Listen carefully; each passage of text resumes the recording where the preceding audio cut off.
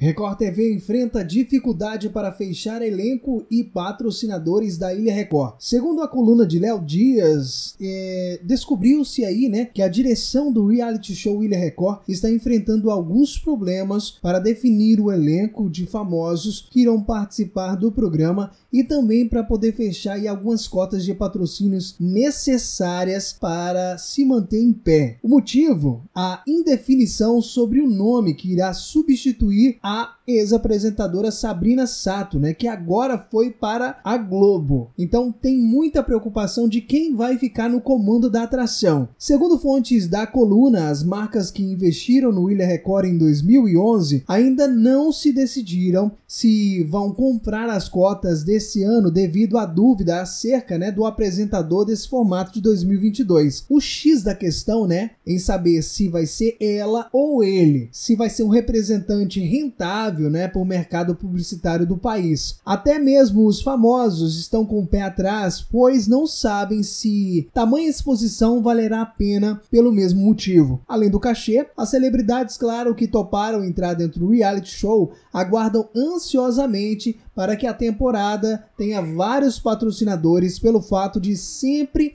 receberem o valor de mil reais a cada ação ou prova com menções às empresas patrocinadoras do programa.